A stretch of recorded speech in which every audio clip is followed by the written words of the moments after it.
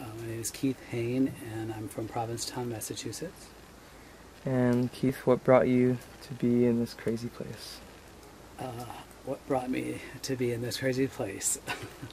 uh, good question. I um, I'm on a healing journey for 22 years. Uh, been HIV positive for 22 years, and usually um, for 17 years I followed alternative healing modalities, and for then the five most recent years I was on Atripla, and um, it's an HIV drug, and I don't like to be on um, allopathic uh, regimens. And I became familiar with ayahuasca and um, sacred plant medicines and, um, for the past 10 years in, in graduate school. And um, I had the opportunity to come to Peru to um, avail, avail myself of uh, you know the sacred plant medicines and uh, in particular I came to this institute um, I was just following my intuition about uh, places that I uh, would consider coming uh, to uh, for this and uh, on my internet research this uh, place resonated for me, and then I spoke with a healer in Colorado, and she suggested this place too. So it was like uh, the universe confirming my intuition about where to come. So I came here. Um, let's see. Okay, so in this retreat, what practices and experiences do you feel like you resonated with the most? Like, what do you feel has helped you? If you can give a few. Well, one. I think all of it has helped me, but not in the way that I um, imagined. So um, the ayahuasca and San Pedro ceremonies, um, I know that I felt that they were very beneficial to me in a physical way. Um, I uh, was expecting, you know, the psychedelic uh, trip, and I didn't have any of that. Maybe one or two visions.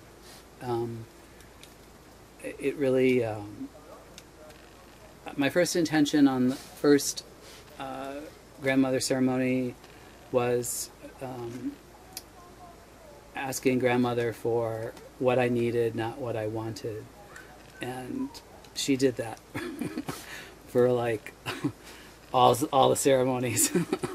you know, it was like it was out of my hands, which was like good. Um, I it was a very humbling experience for me, um, and I learned quite a bit, and I feel like I'll probably be processing this the rest of my life, this experience, and um, so there was the ayahuasca, the San Pedro, and then the daily um, medicine drinks, and I. So synergistically, I feel like all of that help has helped my system very much. I feel cleansed, purified. Um, it has made a difference. I, I'll go back and do blood work and see exactly how much difference it has made. Um, but intuitively, I, just I know my body that I, I feel it has made a dramatic, profound change and, and deep change.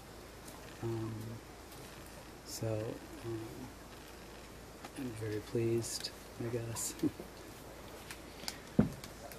Okay. And following that, I feel um, the next part would be kind of describing what qualities or associations do you feel like have grown in you since being here? Like,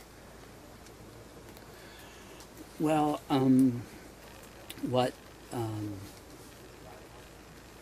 aspects about me um, do I feel have changed? I guess um,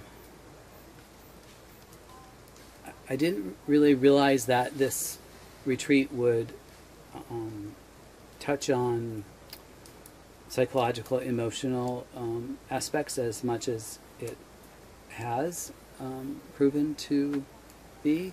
Um, but that makes sense because healing is not just physical healing; it's you know a number of levels, and um, so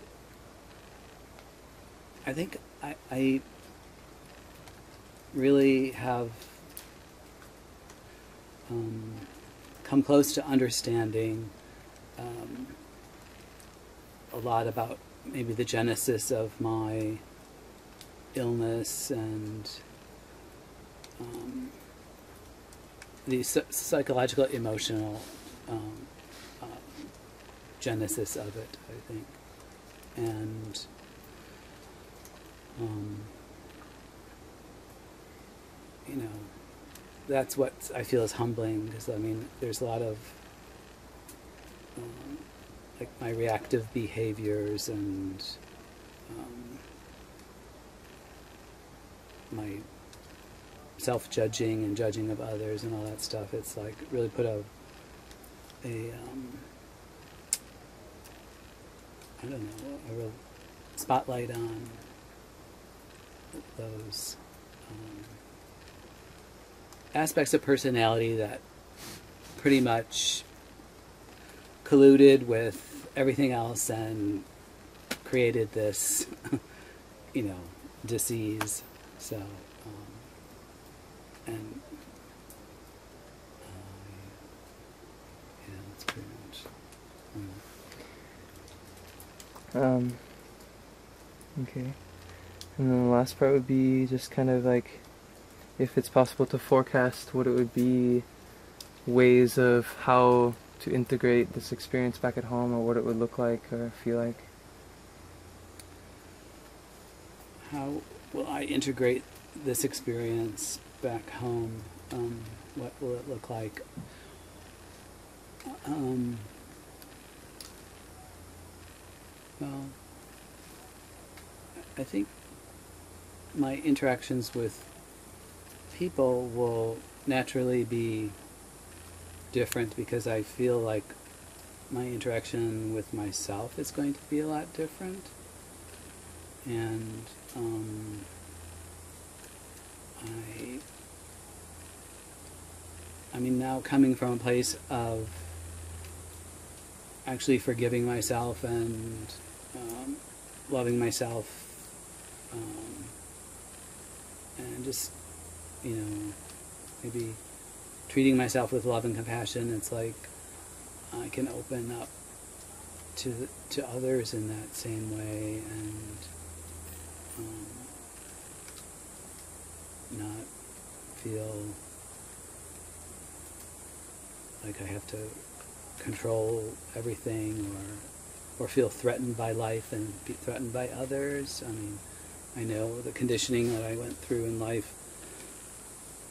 You know, I'm I've been in a fight or flight response most of my life, and I feel at this retreat I've slowed down enough to realize that you know I can let that go, and it doesn't serve me. And, and I knew on one level that it didn't serve me because I, you know, I've done therapy and analysis and stuff, but somehow being in the jungle and no with no distractions and just face to face with yourself it's a whole different um, realization process that I experience that